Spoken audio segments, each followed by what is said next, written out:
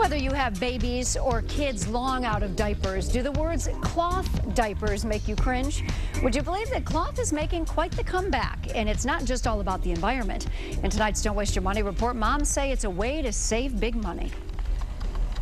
They're easy and they're modern and they're much different than your mother's cloth diaper. Say goodbye to safety pins and plastic pants and say hello to the new reusable diapers equipped with snaps, Velcro, and fashionable fabrics. For many moms, the most appealing part is the price tag. Cloth diapers are going to run for a full stash anywhere between three and five hundred dollars.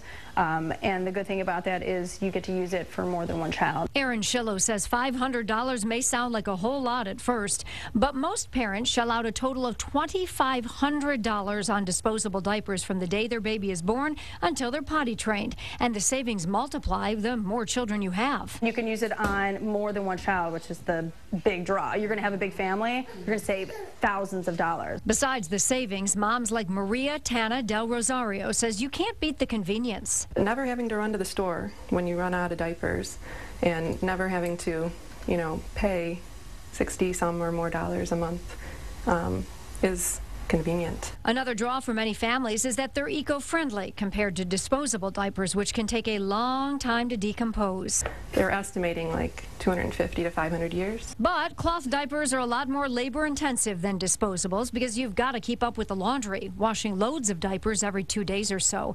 If you give cloth diapering a try and you decide it's not for you, don't worry. Cloth diapers tend to hold their value, and you can sell your stash on websites like diaperswappers.com or even Craigslist.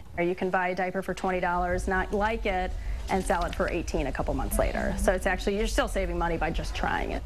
All right, so what do you think about this? Not sure if it's for you having to deal with cleaning all those dirty diapers. Well, there is a company in Rochester called Dirty Deeds Diaper Service that lets you rent cloth diapers for $25 a week. They drop them off pick them up and professionally clean them for you. You can find out more about them on the homepage of our website at WXYZ.com.